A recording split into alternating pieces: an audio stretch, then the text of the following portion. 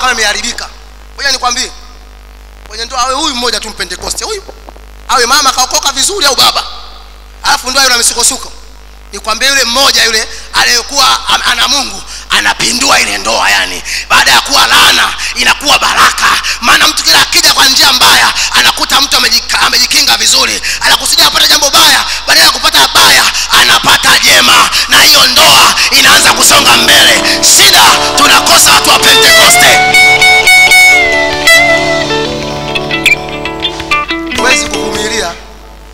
huwezi kuvumilia kama kama roho ya mungu alipo ndani yako.